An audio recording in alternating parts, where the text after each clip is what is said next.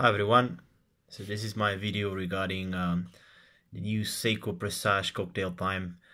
Um, it's a blue version and since I've had the watch for a couple of months now I decided it's time to, to share some thoughts with you and I'll be giving you five things you need to know about this watch in this video. Um, maybe this video comes a little bit late as it is already Christmas time and some of you might have already bought the watch for Christmas but some some other um, people might be still making their mind so hopefully I'll be able to um, help you with this. Okay uh, so first thing I'm starting off with the positioning of the watch. As I've heard uh, uh, numerous places on the internet and I've read on numerous places how this watch is basically a luxury watch for a fraction of the price uh, it's like you pay five hundred dollars for for the watch and you get a luxury watch equivalent. Uh, so uh, ju- just a, a, couple of uh, things you need to know about this statement. Uh, although the watch is extremely nice, uh, I wouldn't call the watch a luxury item, and I'll give you the reasons for this. Um, let me just zoom out a bit. so, firstly, starting off with the case as you can see the case is uh, very nicely polished.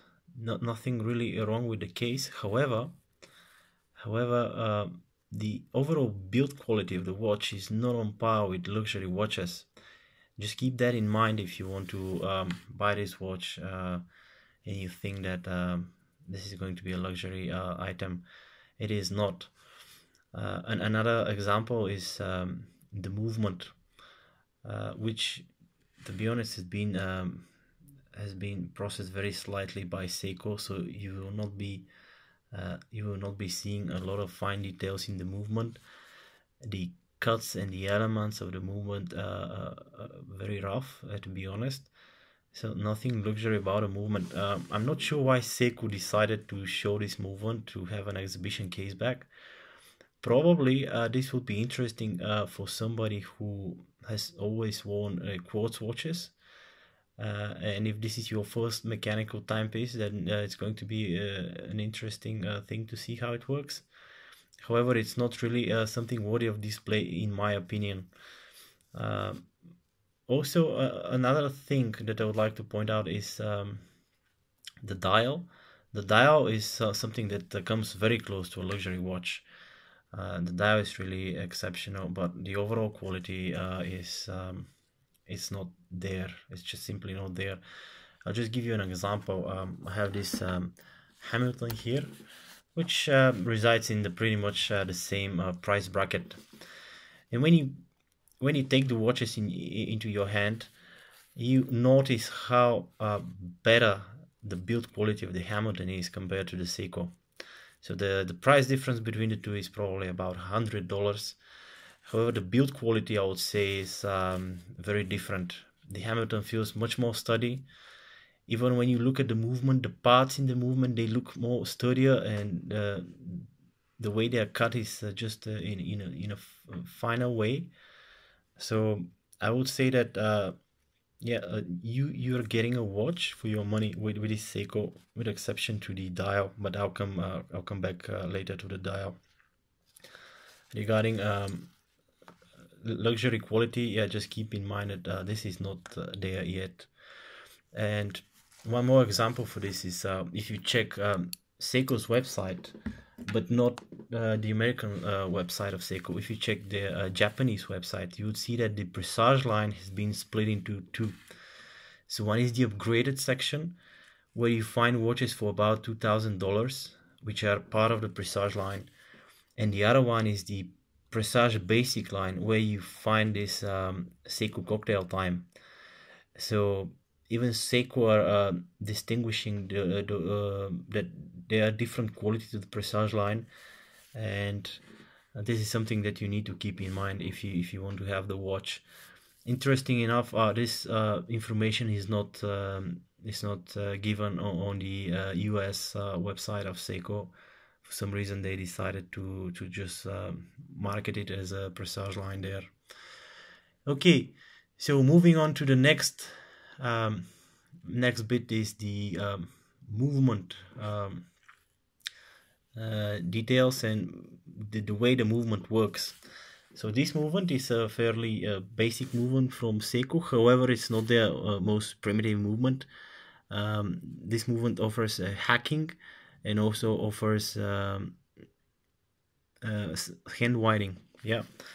Uh, the issue that I have here is that um, the operation of the movement is not very smooth. So the, the watch keeps a good time. Don't get me wrong. It's it's keeping plus seconds a day, which I think is great for a watch of this price range. But as soon as you start um, winding the watch or trying to operate the watch, sometimes you get uh, a strange feeling in your hand as you rotate the crown. Uh, that there is a strange uh, change in the resistance of the crown sometimes depending on what you want to do but uh, just keep in mind that also the movement operation is not the smoothest and it's not on par with luxury watches. So this is also something to keep in mind. Um, so the third thing i think you should know um, which uh, made a strong impression on me is uh, the crown. So um i don't know what to tell you about the crown that um, because i'm not sure if uh, this is normal or not. Uh, to my understanding this is absolutely not normal but if you look closely at the crown of this watch you will see that there is a slight um, there is a slight gap between the case and the crown. And if you've seen my uh, unboxing video you would see that I struggle with the crown trying to figure out is it the position 1 of the crown? Is it a screw down crown which is not being screwed down? So what is happening with the crown? Um, my my feeling is that just the stem of the crown is just way too long. Or maybe the case hasn't got the uh, sufficient cuttings to accommodate the uh, the crown closer to it. But it's um, probably the biggest disappointment for me in this watch. Um, and I initially I thought that okay I've I've got a defective um, piece you know because maybe my piece is not working correctly no others have the crown correctly placed and I've looked online and what I see is that it's very strange but usually the official pictures uh, of this watch are not showing this. But when you start looking at pictures from other people you do notice that their crown operate uh, that their crown positioning is uh, pretty much the same. You have this um, strange gap between the crown and the um, case. Um, and it's really something that is uh, annoying me. It's not it's not making the watch um, dysfunctional or anything like this. It's just that um, it kind of I, I, wanted to get closer to the case but it cannot.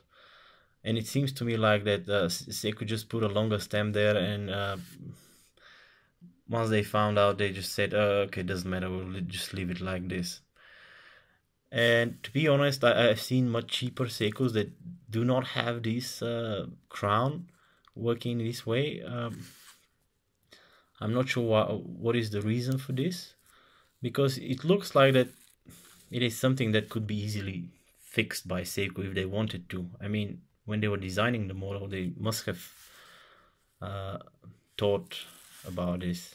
I'm not sure what the reason is, but just keep in mind that the crown, uh, the crown on your model might uh, stick out a little bit more than uh, what you're used to. As a comparison, I can again show you the Hamilton. Um, and please keep in mind this video is not about Hamilton a better watch than Seiko. I'll just uh, use it as a comparison base. As you can see, uh, the Hamilton crown is uh, absolutely touching the case, and it's you cannot find any gap between the case and the crown when it's uh, in closed position. Um, I'm very interesting to to understand if you've got this watch how uh, if you've got this watch is your crown the same or it's uh, actually uh, better um, uh, it has better operation while in position uh, in position uh, zero sorry so this is something that I would like to hear from you. I've also noticed that the first generation doesn't have this crown gap between itself and the case. So just keep in mind that um, this is something that does not uh, make good impression on the watch. Yeah certainly something that you wouldn't find in a luxury watch. Okay so moving on to the next um, part is the bracelet or the strap I haven't got the bracelet with, with, me right now. Um, I've got uh, an aftermarket strap, which is uh, Hirsch, Hirsch in this uh, case. I, I would have uh, wanted it to be a, a, little bit darker than it is because at the moment the watch is uh, really uh, looking quite quite quite a lot of blue color in this watch. Um, but just wanted to give you some indication about this strap and the bracelet. keep in mind that both of them are not uh, the original strap and the original bracelet are not uh, luxury items yeah. They're good they're good bracelet and good strap but if you're used to a better quality watch you might be slightly uh, disappointed. If you ha- if you haven't owned a luxury watch strap or um, bracelet then you'll be just fine. I think it's very important to um, think of where you're you're coming from. If you're coming from a luxury um, experience with your other watches being a lot more expensive, then you might find that the Seiko is not really on par. But on the other hand, if you're coming from um, cheaper watches, you then then you'll be quite happy with what you get from this Seiko. Uh, keep in mind that this Seiko is positioned exactly on its place. It's it's not the cheapest watch on the market, but it's not also a luxury watch. So this is this is the actual truth. You, you you'll be getting um, what you're paying for mostly. Um, but uh, let, let me just make one exception to this. Coming to my fifth and final point, and this is the dial. So the dial and the details on the dial are absolutely stunning, and I think they uh, basically make up for everything else, uh, every other um, drawback of this watch. The dial is uh, exceptionally made. The details on the dial are exceptional. The indices, the way they're polished, are phenomenal. So some of you might might would um, might prefer a dial with a loom but I'm telling you these indices are so well polished that even the slightest um, light uh, they'll pick on the slightest light and you, and you basically see um, what the time is because of the hands and indices are polished in such a uh, perfect to such a perfection. The reflection of the dial uh, one of a kind i don't have to explain uh, to you how beautiful this feels uh, when you when you actually um, have your hands on the watch um, Seiko have just released another version of the dial. It's not called a cocktail, it's called something else. I'm still about to, to look into it. But although this is not the newest model at the moment, I think uh, it's still worth consideration just because of the dial. Extremely, extremely well made dial. So anything else you might just want forget uh, just to have this dial. And pretty much this this was the reason why I got this watch because of the dial and uh, its perfection and uh, its uh, the the way it reflects the light and everything else. So uh, I hope uh, those five things that you um, that I've given you will help you make your decision. Um, as a as a kind of a final thought, I would say it's not a luxury watch but because of the dial of this watch it punches way above its um, weight. And yeah it's it's a great little watch. And if you like it you might as well go ahead and buy it. Um, let me let me know what you think. And certainly let me know um, if you if you have this watch um, what is the situation with the crown on your piece? Because mine as you can see there is a slight gap here although it's not affecting the, the watch performance in any way. Okay that's all for now. Uh, have a great christmas and uh, new year's celebration and hopefully i'll see you soon. Bye